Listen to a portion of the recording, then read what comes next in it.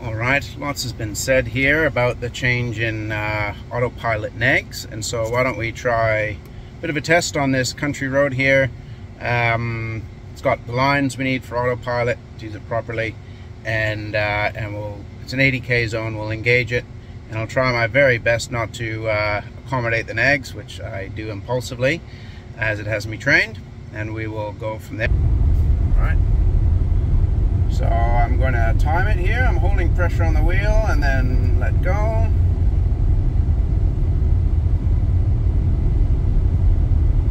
There's no traffic in front of me, no traffic behind me. And 10 seconds, around now it starts to nag. Yep, that was 11 seconds. Starts to nag. And starts to flash rapidly around 20 seconds. That was just slowing down because the corner. Starts to beep at you, 29 seconds.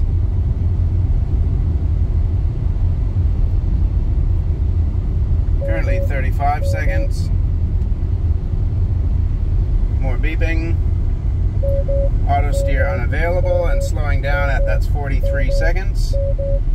And there's no one behind me, no one in front, and it brakes hard and puts on the four ways and that's 55 seconds.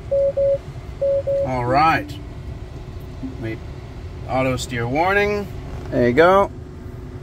No longer available for this drive. All right. Thanks for that.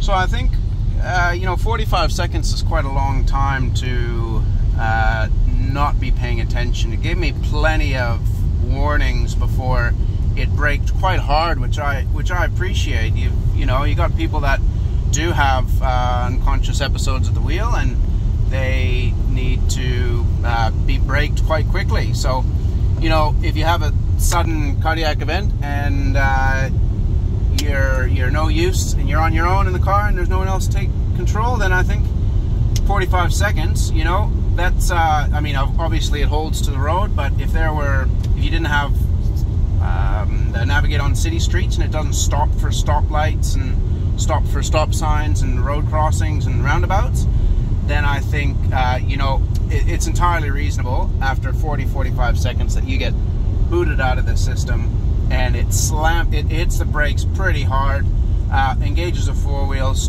uh, the four the four way uh, indicators, and and it comes to a complete stop. So I think um, my assessment is that's pretty reasonable. It's pretty reasonable that you get locked out too, because 40 seconds, 45 seconds of inattention is is quite uh, a lot. So, hope you enjoyed that.